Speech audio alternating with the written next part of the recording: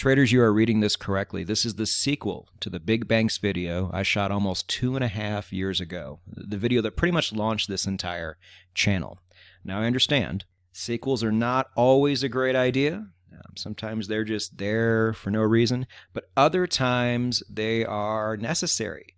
They clarify what you saw in the past, and they set you up for what you're about to see in the future. Now, where is this video going to lie on that spectrum? I don't know. Let's give it a try.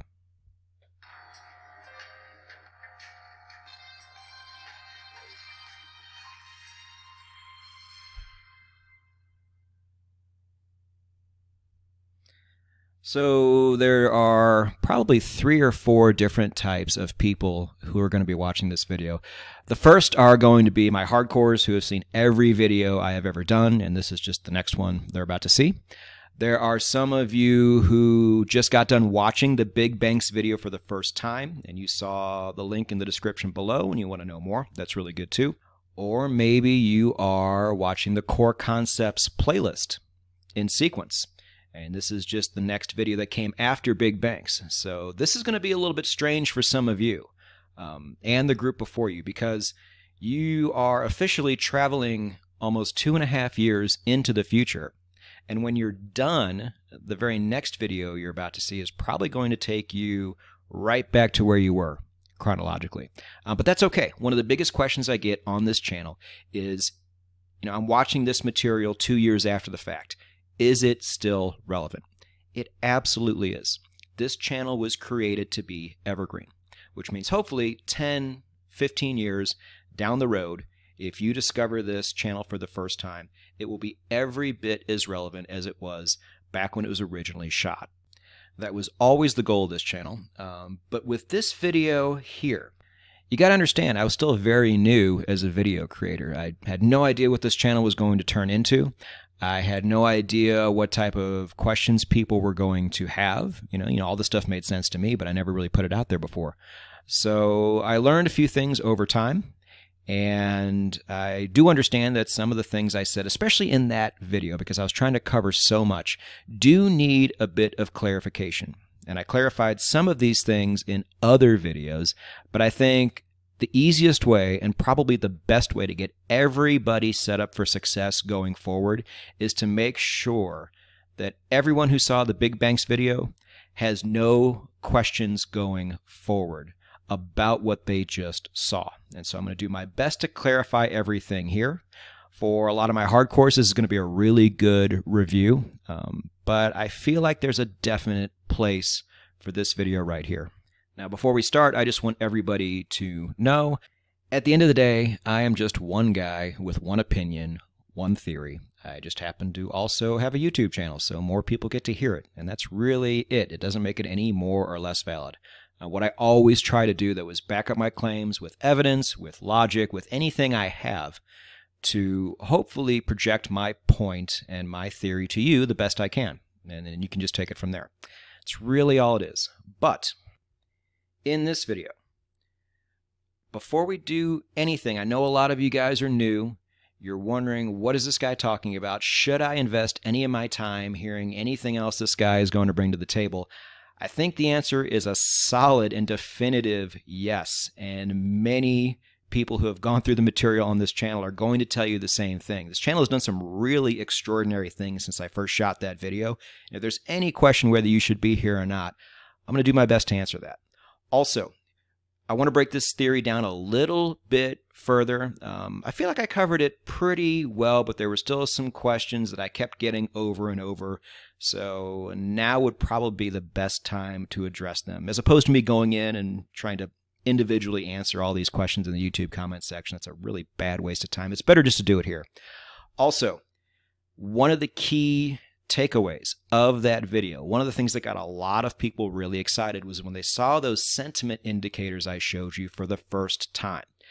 Now, getting access to these indicators has changed a little bit, and I want to clarify the way we read these indicators, explain what we use them for, and what we do not use them for, because I think there was some confusion there as well. Also, towards the end, especially if you are new. I want to take this time to explain to everybody the best course of action going forward if you want to learn the no nonsense Forex way of trading. I want this road to go a lot smoother for you and really for me too. Um, so stay tuned for that towards the end. But that does beg the question uh, should you move forward with this? Is it in your best interest? Uh, well, I would say it certainly is. Um, this channel has had an incredible success rate. You have to understand the success rate in Forex is abysmally low, lower than probably any other traded market on earth. Uh, you know, there's a lot of reasons for that, and what we do here flies in the face of many of those reasons. And as a result, this channel has done something no other channel has ever done in a fairly short amount of time. As I record this video on a Sunday in late June 2020, we have already turned 33 people, I think, give or take one or two, taken them from break even or losing traders to traders who now don't even have to risk their own money. They get to keep all that. They got hired on by firms, and those firms have given them their money to trade on their behalf. It's the best of everything. It is a level of success so few people ever thought they would ever get to see. And those dreams finally got to be realized. Um, I will link this in the description. It'll be the, the testimonials tab. It'll take you to my website where the people who have turned pro as a result of this channel posted their story and where they got hired and how it all happened. And I would, I would even say that this is this 33 number is on the low side because I've seen people in the YouTube comments section thank me for turning them pro and then they don't fill out the form, which is fine. You're not required to, but just know when I say 33, it's probably even higher than that, which is just incredible. You know, congratulations to all of you out there who have either done it or very, very close. You've come a long way. Uh, but we do take a contrarian approach here, and you absolutely must. When the success rate is so low, and almost everybody who doesn't make it is doing the same things, the same incorrect things, the same boneheaded things. It is in your best interest to do the complete opposite, or at least take an approach to where you really want to stay as far away from these mistakes as possible. Now, it's not a dumb, blind contrarian approach where we just automatically do the opposite of what they're doing. That's really hard to figure out. Um, but you will see, and the, the Big Banks video sets you up for this very thing. Taking a contrarian approach to where you want to really, really make sure you are not on the radar of the big banks because, unbeknownst to almost every trader out there, they are heavily against what the majority of traders do. And if you just figure that part out, you know, the rest of the contrarian stuff is going to start to make a lot more sense. Uh, but if you don't like the idea of being contrarian, if that, that's just something you're against, then you're really not going to like this channel and you're, you're better off served somewhere else. However, if you're all about it and you want to see what we do and you want to turn pro someday, there is a correct approach and a very incorrect approach. You have to use this channel like a grown up. This is a college course. You know, look, you got to look at it that way. It's free for one, so it's not like a college course, but it's also effective, which is also unlike most college courses. You know, this, but it's something you have to be very deliberate and take your time and go slow. Take notes. You know, don't look for quick little shortcuts. That's not the game. That's going to get you killed every single time. This is a grown-ups game. It is a 3 to 6 trillion dollar market. There are no quick fixes. You're going to see a lot of people selling quick fixes, but they never ever work. At the end of the day, the people who buckle down and do this right are in a much better place to succeed than literally everybody else. Now, the one thing I would ask as a courtesy to me is if you have any questions on anything I talk about, write it off to the side. I can not guarantee, but I can say with a lot of certainty that there's a really, really good chance your question is going to get answered and answered in a really good way, not just a yes or no answer with no nuance. You know, that's not how this works. Your question is probably going to get answered in a future video. So I'm not sure if you knew this, but if you go to YouTube, you can click on literally anybody's YouTube channel. And you will see this little thing right here. This is a search box. So you might be wondering, you know, VP sounds really intelligent and handsome. Let's see what his opinion on trend lines are, because I have always wanted to know. And voila, there it is. Big letters. You know, now you already saw this video, but one of the biggest questions I get on the Big Banks video is, does this work for stocks? Because we have a lot of stock traders coming over and checking this out. And what do you know? Right there. Now, this still isn't the best way to go because those of you who have seen the stocks video know that a lot of what I talk about is not going to make a ton of sense unless you've already gone through all the material first. This is why I think the best idea is just to go in order. I'm going to link the beginner's video and the home page to my website. You can go to either place and learn exactly what to do and exactly what sequence to watch these videos and podcast episodes in to where it makes the most amount of sense. Uh, but let me stress this one more time.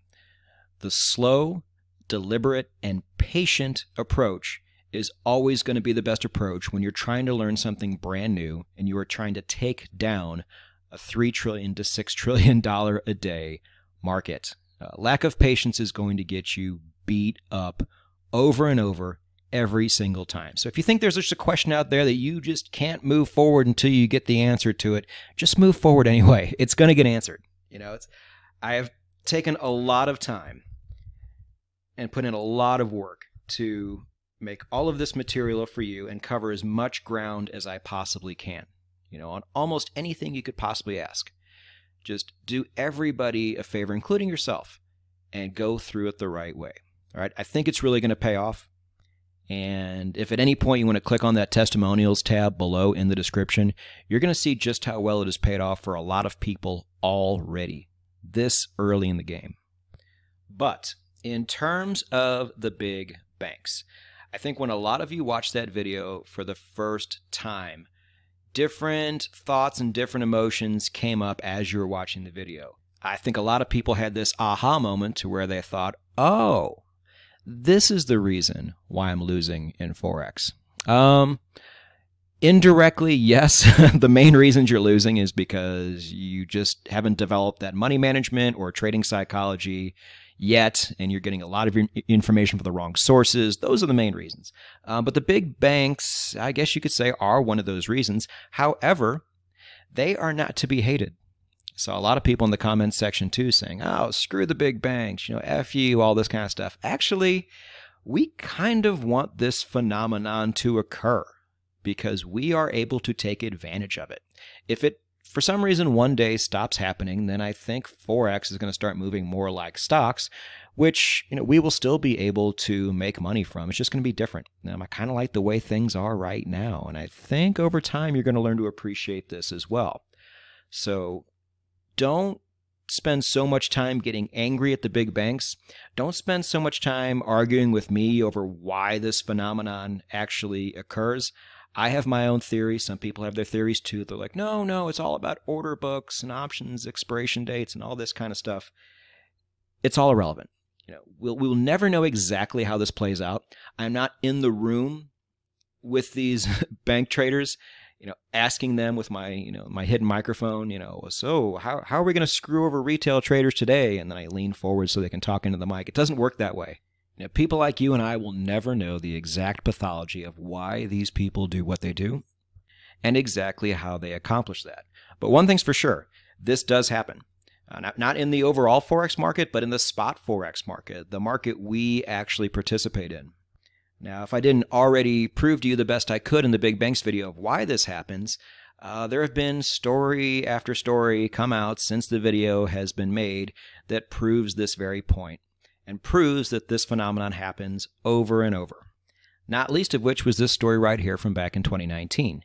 Uh, the regulators who really, all right, everybody's like, oh, isn't this illegal? I'm like, well, yeah, it's illegal, but who cares if it's not properly enforced.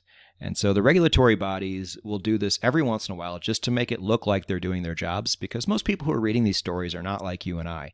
You know, they see something like this, they say, wow, look at those big banks. Look at that big fine, $1.2 billion. Wow, they the regulators are really doing their job. These banks really got theirs, didn't they? But if you break it down, especially this right here, like I don't know this for sure, but what was it? A total. They've been fined a total. These banks have been fined not each, but a total of $1.2 billion.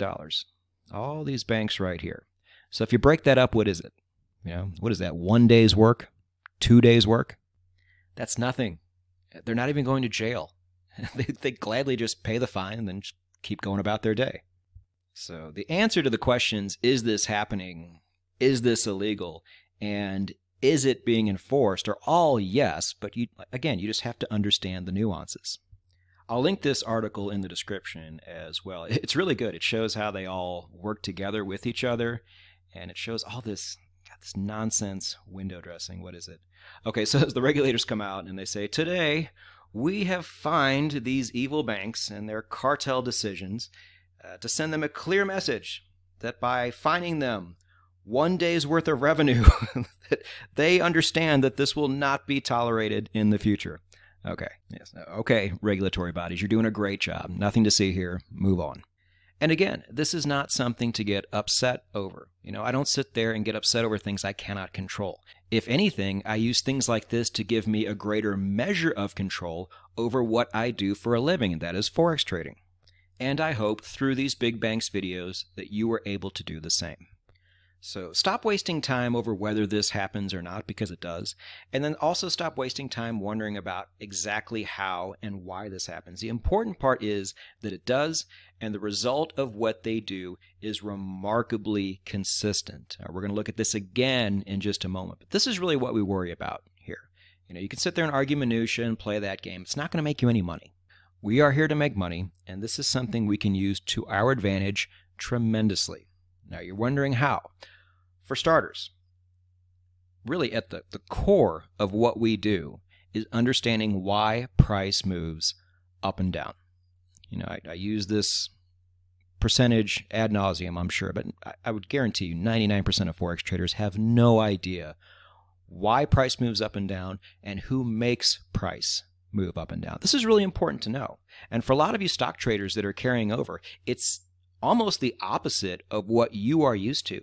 So many stock traders come into the Forex market, and I have a feeling pretty soon a lot more are going to be coming into the Forex market, uh, and they think everything that they had learned in the past carries over to this market as well. And that is a crucial mistake. And they wonder why they fail just as much as everybody else does. You have got to know the difference.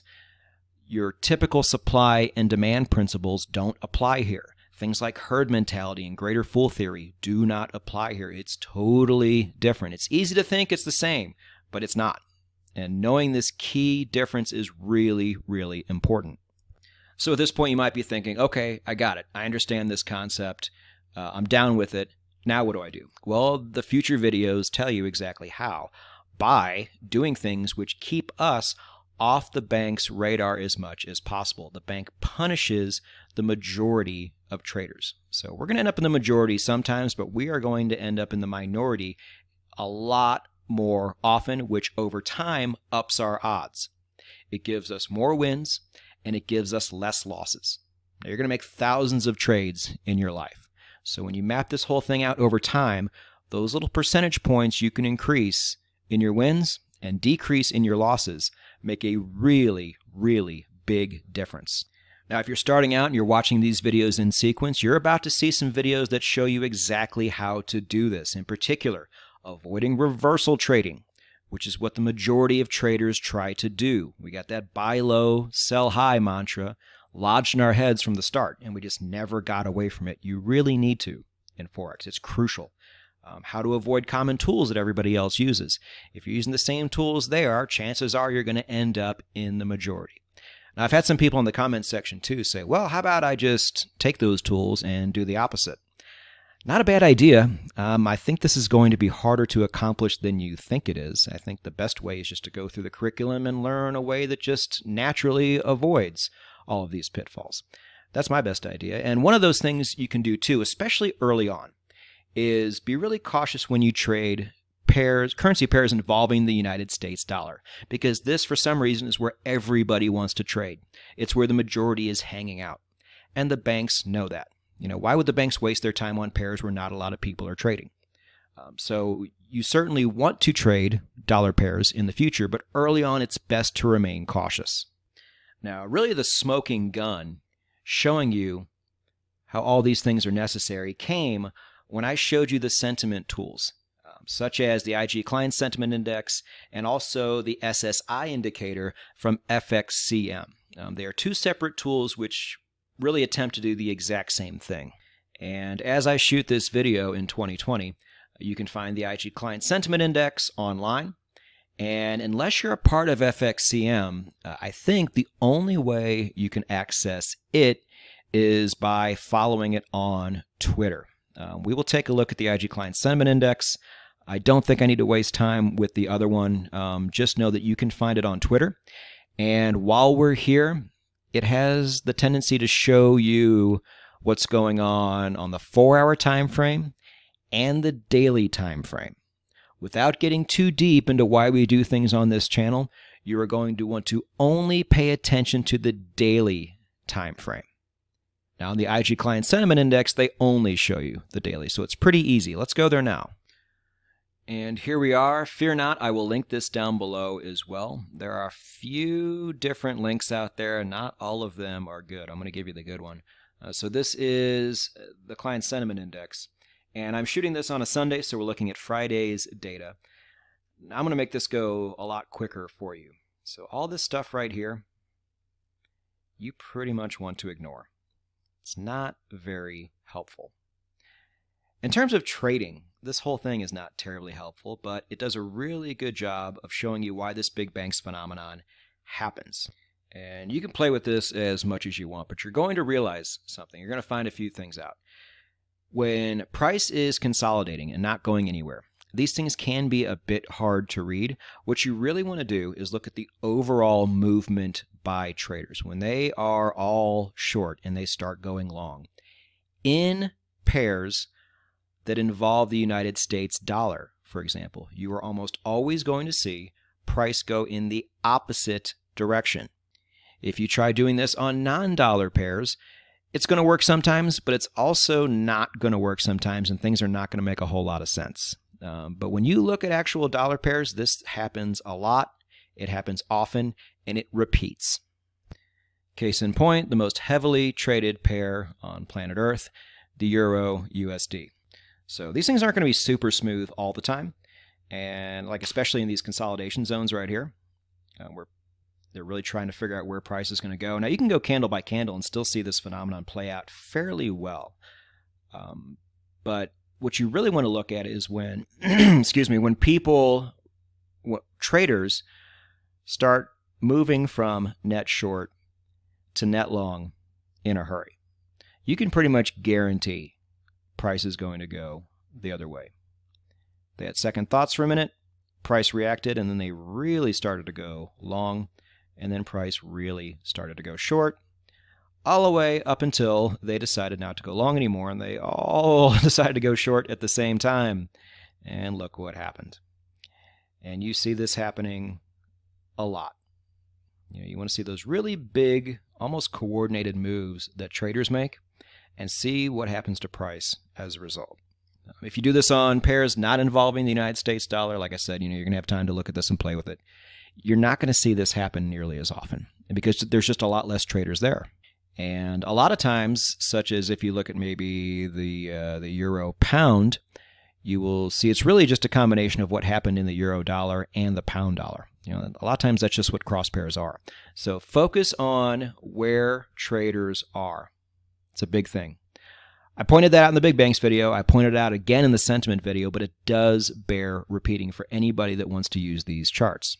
So that part was a bit of a review. Now we have covered quite a few different markets on this channel over the last two and a half years. And this client sentiment applies on some of those markets, but certainly not all of those markets. Let's take a look. So let's look at precious metals. Let's look at gold. So with precious metals, not really.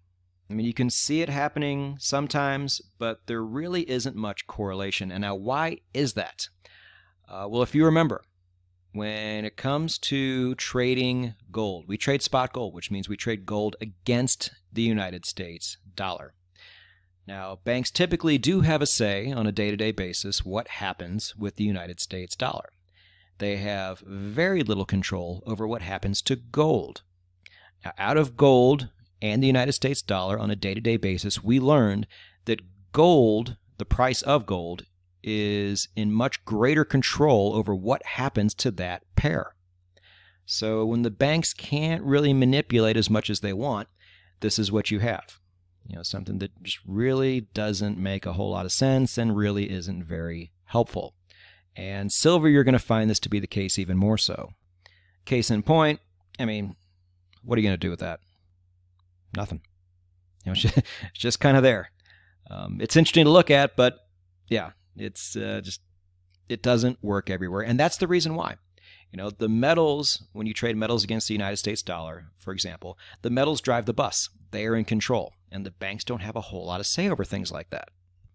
So, what about the big question that so many people want to know? Does this apply to stocks? Not, I mean, individual stocks, there's no way to know because this doesn't come out for individual stocks. But certain indices, let's take a look. So here's the S&P 500. Now maybe it's not as clean as some of the currency pairs are, but you will see when did the big drop happen? When people stopped going short, tried to buy the dips, and started going long. Now there's a lot of choppiness, a lot of confusion on the way down because we've never we, we haven't seen this in a very very long time, especially not to that degree. You guys remember when this was happening? It was crazy a lot of confusion in the market. And so you had traders doing all sorts of different things. But the important part is they were down here, and as it was dropping, they were up here. And it didn't go back up until they were down here again. You know, that's really the big takeaway. You see some things that don't make a whole lot of sense, kind of like right there. Um, but I can also say this it correlates enough to where I know that we are not going to see that next big move down until traders get longer again. I can say this with not 100% certainty, but it's happened almost every single time. You know, it's all these people are so confused. Like uh, I'm, I'm overall bearish on the market, and so I follow a lot of really smart macroeconomic people and uh, precious metals people, and so many of them, as smart as they are, just cannot figure this out. They're like all these terrible fundamentals are happening in the market, and prices not going down and they're so outraged over it and they can't believe it. If they only knew about this, this is the reason. The market's not going to turn over until people go long. Um, I don't like making predictions, but I'm I feel pretty safe making that one. Uh, now they could go long and just flip right back short again, and then we're we're back to where we were. I don't know, but until they go long and stay long, we're not going to see that next big move down. Um, now this is the most heavily traded index on the planet. If you go to some of the smaller ones like the CAC or the Xetra DAX, you know, you're going to see this a little bit, but it's going to be a little choppier and not as clean. You know, like I said, you can play around with this all you want, but just know where the majority of people are is where you're going to see this happen the most, unless it's something like precious metals or like crypto. Why they continue to post this on a daily basis, I will never know. There's no correlation at all. It makes me laugh every time I see it. Stop wasting our time and your poor employees' time and stop putting these things out. It makes no difference. You know, people are generally going to be long, you know, Ripple and Ethereum and Bitcoin for a very long time, and price is going to move up and down. There is no real correlation there. So just know that when you see it. But here's a real big takeaway traders. I think a lot of you saw this, and the same thing that happened to me happened to you. Your eyes got really big. You were like, wow, this is like the COT report, only it actually works. I get to have an advanced look on where traders are going and all I have to do is go the opposite way. Or I can just wait until maybe like these lines cross or this color changes and make my move that way. I can use this as a trend confirmation indicator. Uh, please give up on that dream right now because unfortunately, as a trend confirmation indicator, this whole thing, no matter which pair you're looking at, does a really poor job.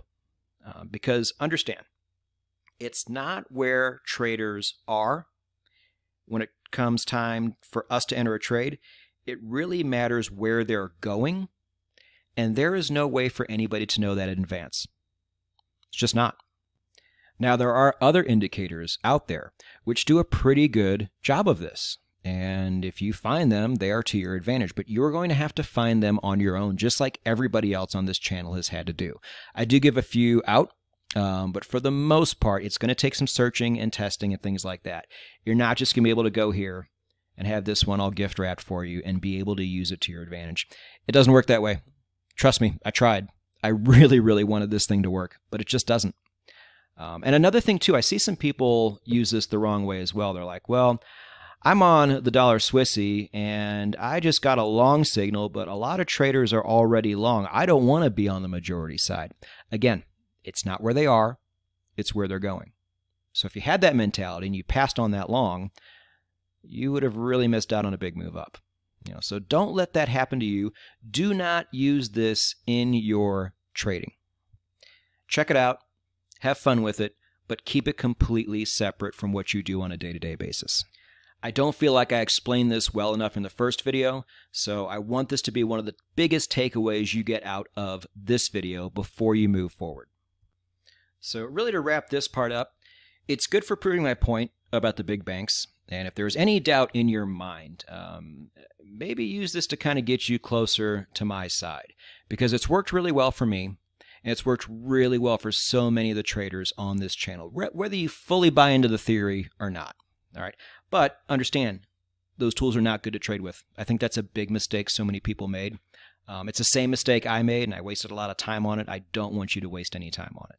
Um, and also understand, too, it does not apply everywhere, um, but it definitely applies to the areas where the banks are allowed to have the most manipulation. So think dollar pairs, overall stock markets, things like that. Now, even though you don't see this happen too often in the precious metals market, for example, or even in crypto, we have ways on this channel to where we are able to trade those markets as well at a very high level. Um, so stick around for that. But let's wrap this whole thing up. In conclusion, just understand the phenomenon known as the big banks. It is crucial to the rest of your trading, whether you decide to follow this channel or not. But just know if you try to go against it and say, I'm just going to go ahead and use all those common tools and stay in the majority and try to pick tops and bottoms, it's really not in your best interest.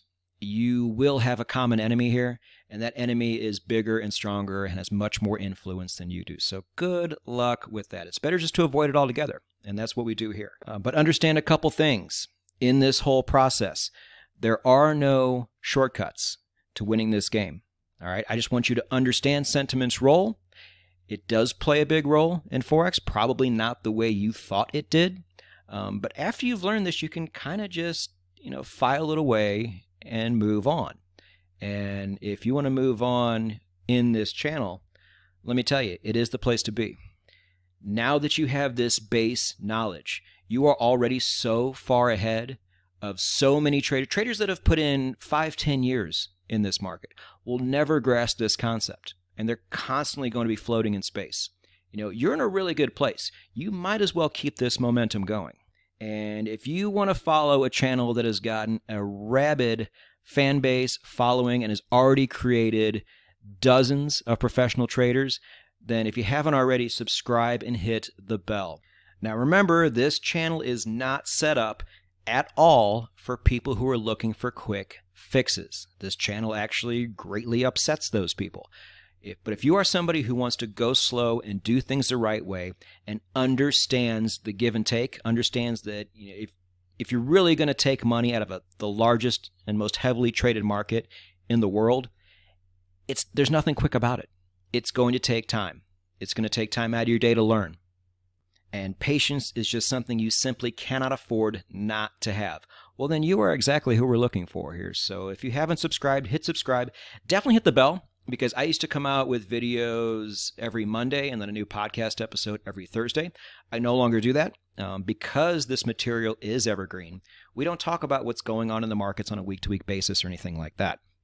These are concepts, and there's only so many uh, that you have to learn about, and then we're kind of done, which we pretty much are. I still come up with other videos every two months, three months, something like that. And so you're definitely going to want to see when those come out because there's no longer any consistency. If you don't hit the bell, you're not going to know. Uh, but for the newer traders, I wish you the absolute best on your journey. It's going to be such a great ride. Just understand that your success all depends on what you do and the choices you make going forward. All right? So make it happen go get it.